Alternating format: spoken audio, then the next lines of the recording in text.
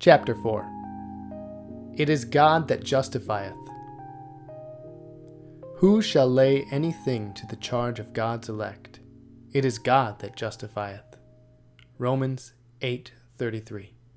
A wonderful thing is this being justified or made just. If we had never broken the laws of God, we should not have needed it, for we should have been just in ourselves. He who has all his life done the things which he ought to have done, and has never done anything which he ought not to have done, is justified by the law. But you, dear reader, are not of that sort. I am quite sure. You have too much honesty to pretend to be without sin, and therefore you need to be justified. Now, if you justify yourself, you will simply be a self deceiver. Therefore, do not attempt it. It is never worthwhile. If you ask your fellow mortals to justify you, what can they do? You can make some of them speak well of you for sixpence, and others will backbite you for less than that. Their judgment is not worth much. Our text says, It is God that justifieth. And this is a deal more to the point. It is an astonishing fact, and one that we ought to consider with care. Come and see. Nobody else but God would. In the first place, nobody else but God would ever have thought of justifying those who are guilty. They have lived in open rebellion. They have done evil with both hands. They have gone from bad to worse. They have turned back to sin even after they have smarted for it, and have therefore, for a while, been forced to leave it.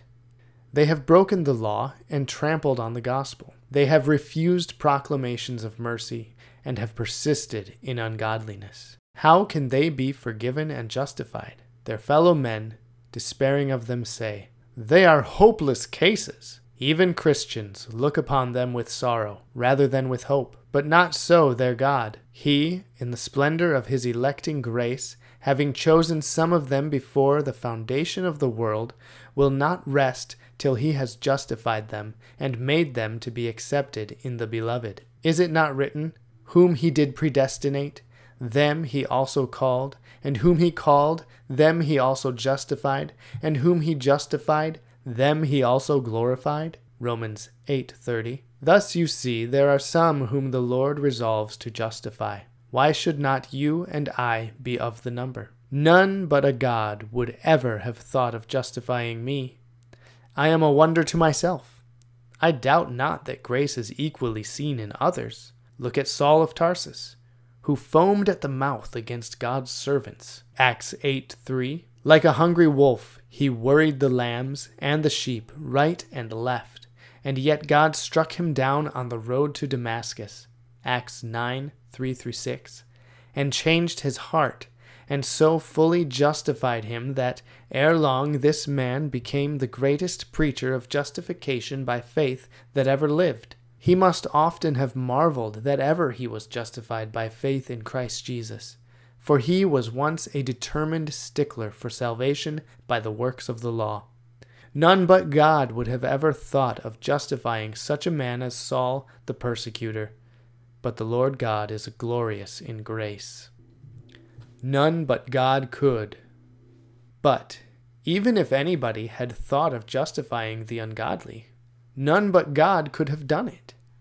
It is quite impossible for any person to forgive offenses which have not been committed against himself. A person has greatly injured you.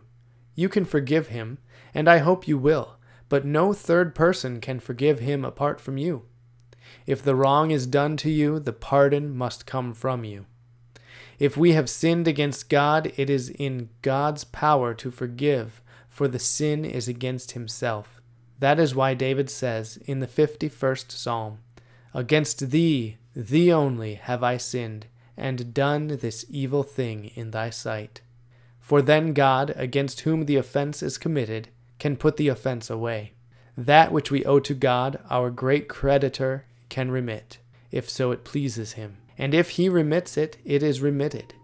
None but the great God against whom we have committed the sin can blot out that sin. Let us therefore see that we go to him and seek mercy at his hands. Do not let us be led aside by priests, who would have us confess to them. They have no warrant in the word of God for their pretensions. But even if they were ordained to pronounce absolution in God's name, it must still be better to go ourselves to the great Lord through Jesus Christ the mediator, and seek and find pardon at his hand, since we are sure that this is the right way. Proxy religion involves too great a risk. You had better see to your soul's matters yourself, and leave them in no man's hands.